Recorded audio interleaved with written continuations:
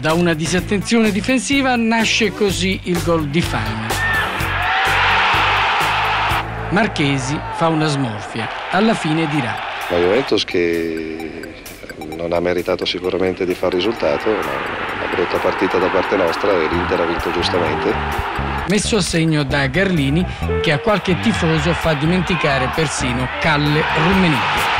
Trapattoni è contento, la crisi è forse passata.